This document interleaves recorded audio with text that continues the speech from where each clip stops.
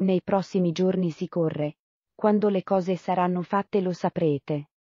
Così il leader della Lega, Matteo Salvini, ha risposto ai giornalisti che gli hanno chiesto, a margine della Camera ardente di Marco Formentini, se si è confrontato o si confronterà con il presidente lombardo, Attilio Fontana, per parlare di un eventuale rimpasto di giunta, dopo le parole sui vaccini dell'assessore al welfare, Giulio Gallera, che hanno fatto scoppiare un caso politico.